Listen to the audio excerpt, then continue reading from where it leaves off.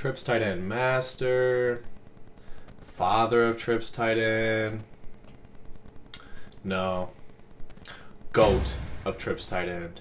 Looking to take your Madden game to the next level while dominating kids in Weekend League and learn high level schemes from some of the best Madden pros in the world?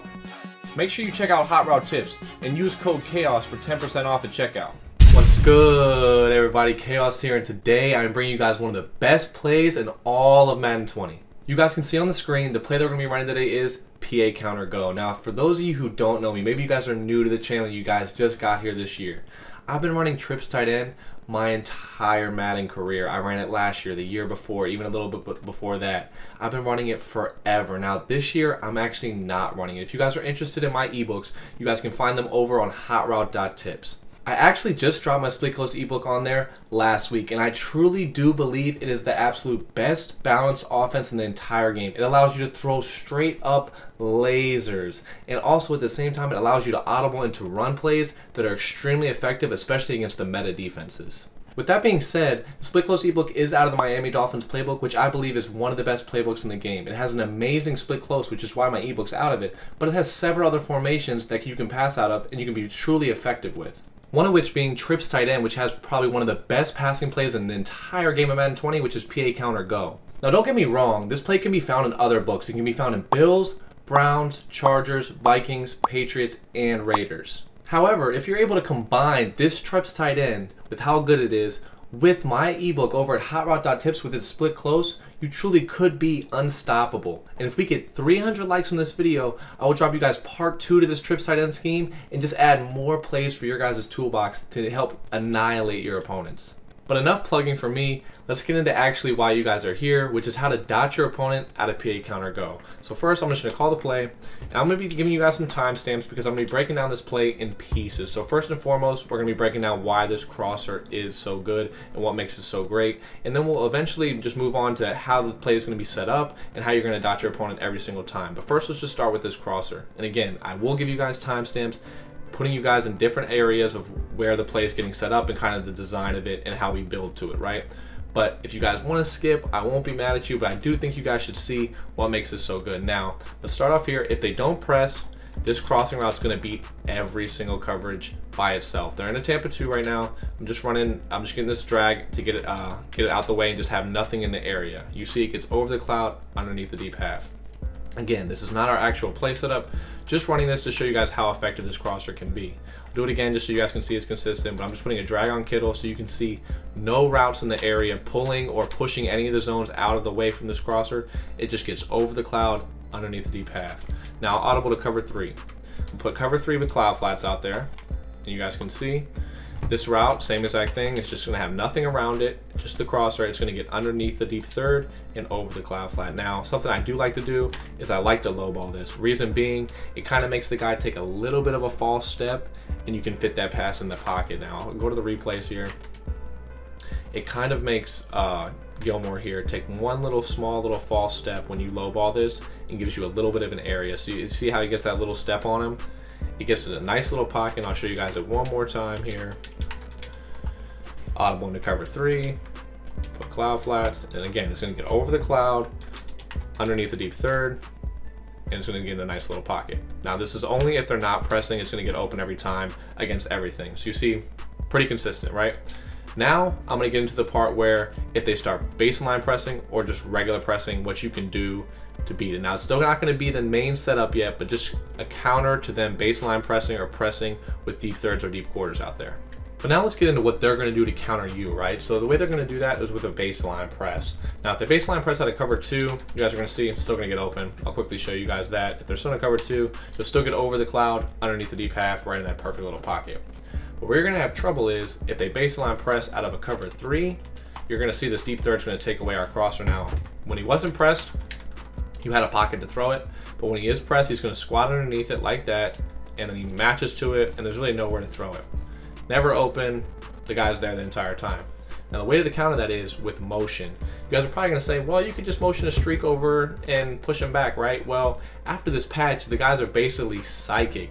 The guys will turn off of streaks as soon as you pass the ball and they'll turn and make a play on it.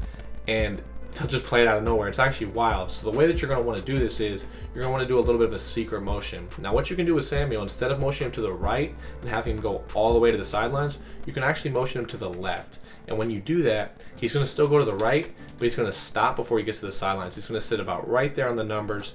Now I'm just going to get Kittle out of here. Again, this is not the same, the main setup yet. I'll get to that after this. Just want to show you guys the streak with this crosser and how I can basically make this crosser basically unguardable. Now, if they do a deep third with a regular press, it's going to be a touchdown. The deep third is going to press the streak, and the streak's just going to burn him deep. And if he doesn't burn him deep, it's because he got pressed so many times, and then the crosser beats him deep. So either or, don't really worry about press. It's really just baseline press that you need to worry about because it's going to push the streak back. It's going to pull it in away from the sidelines while also pushing it deep like a regular streak would do. And you're going to have a pocket on the sidelines to throw this crosser. So you're going to see here, nice little pocket right there around the sidelines. And you guys see he turns around to make a play on the ball, right? He comes close. He almost gets there. But because of the low ball, you can fit this pass in and because of this streak not being outside. So you're seeing on the streak, you see how he comes in he doesn't stay all the way on the sideline. He comes in a little bit. He takes like five, six steps in and almost gets even with the guy. Instead of being out here, he's inside. And because of that, he has to come diagonally all the way back here to make this play instead of just being able to come straight down on the ball, right? So you see that, and bam, you're able to fit that pass in with a little bit of space. I'll show it to you guys one more time here. Just get this uh, tight end out the way. Oh, I actually motion to the right. That's my mistake. Didn't mean to do that, but it's good for you guys to see. You guys can see how much farther he goes out, right? I'll leave this in. Usually I would cut if I made a mistake like that, but to be honest with you, I think it's good for you guys to see, well, just about like four or five yards difference of where he goes when you motion him to the wrong way. So I motion him to the left here, and you guys see where he stops at. Now audible back into cover three, do the same thing, baseline press, and you're gonna see just gonna have just enough space to fit this crosser in because of that motion that we did. Bam, right there, just inside.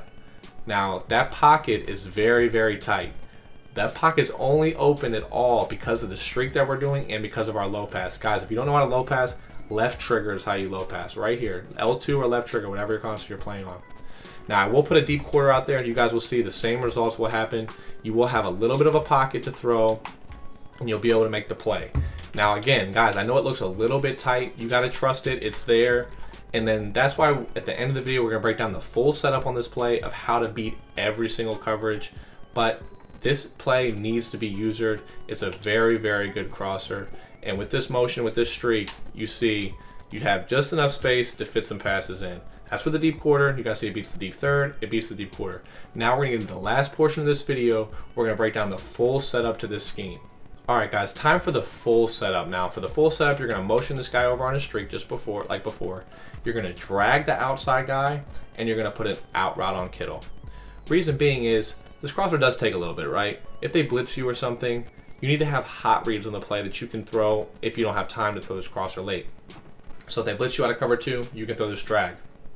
If they blitz you out of uh, cover three, you can throw that drag, you can throw that out route. And I'll show you those reads now, right? So they're in a cover two, Blitz blitzing this guy, Blitz blitzing this guy, this is their user. Just assume they're going to use the crosser, right? here's what you can do. As soon as you hike the ball, you can throw that drag. Quick hot read, before they can come in, before they can get their blitz through, you're throwing that drag. Same thing over here with uh, with the out route, right? So here's the setup again. Motioning to the guy to the left, guys, not to the right. You're motioning to the left. But if they're in a cover two,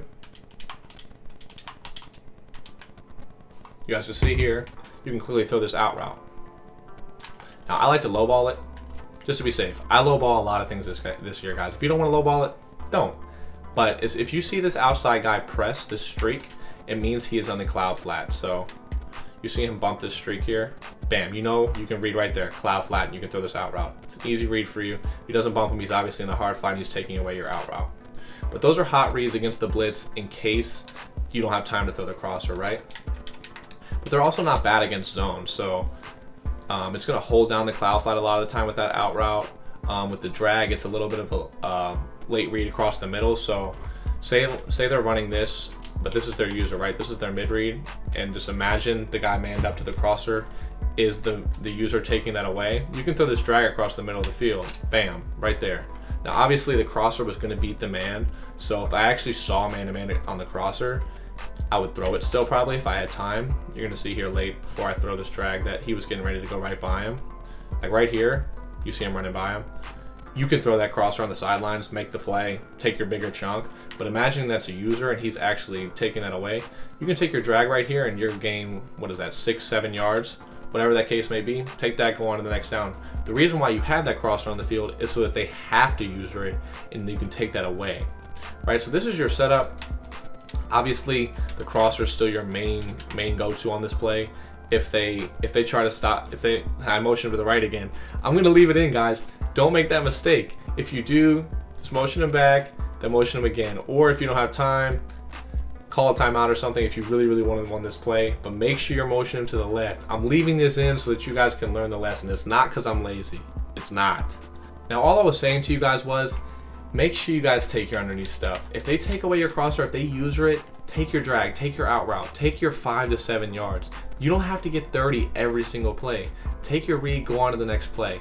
But if they do give you your crosser guys, you hit them where it hurts. You take your 30 yards and you make them respect that crossing route and make them guard it the next time. Because if they keep giving that to you, you're just gonna keep picking up big chunks. Now, you guys see I did use the 49ers. You don't have to use the 49ers for this, but they do have an ability on their tight end that allows you to put different routes on him. And that just makes this play even better. So if you put the outside guy on a, on, a drag still, you motion over the streak, and you can put Kittle on a post. Now what that does is it creates an extra high low between the drag and the post. It's just two another extra route along with the crosser where you can pick up a big chunky yards, right? So you'll see where this thing gets to on the field. It gets to a really nice spot above the vert hook, and it sits in about underneath the deep blue, but over the vertical for about 15 yards. Really nice addition to the play. If you guys have a tight end with the route ability, that's something you can do to mix it in. Another really good option for you guys, but if you don't have it, not the end of the world. The other setup that we have is very, very effective as well. But you guys will see, uh, that was cover two. Now I'll go to cover three. It's going to get over the hook curls as well, and it gets in a really nice pocket for you. Right there, right above the hook curls and the vert hooks right like a perfect spot while you also still have your crosser going the other way that they have to worry about. So it's a very, very good play. That's the full setup for you guys. I'll leave it on the screen one more time for you guys to see it. Again, I can't stress enough, motion to the left, not to the right, so he doesn't go fully to the sideline. But this is it, guys. Make sure you guys are using this play. If you guys want to use it with Miami Dolphins uh, ebook on Split Close, if you guys want to mix these together, it can be really, really deadly. But if you don't want to buy the ebook over on uh, hotroute.tips, that's cool too. This scheme is really good. And again, if we get 300 likes, I will drop you guys the second part of this scheme. But that's it for me, for me, man. I hope you guys enjoyed. I hope this was helpful for you guys. I hope you learned something. That's it. Take it easy. Peace.